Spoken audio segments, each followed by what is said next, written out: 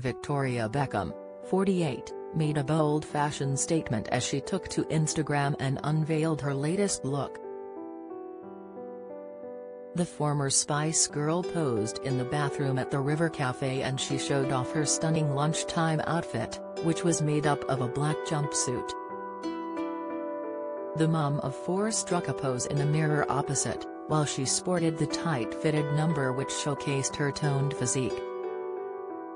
She also had a stunning pair of sky-high heels that matched her daring outfit perfectly, and had her hair tied up in a bun.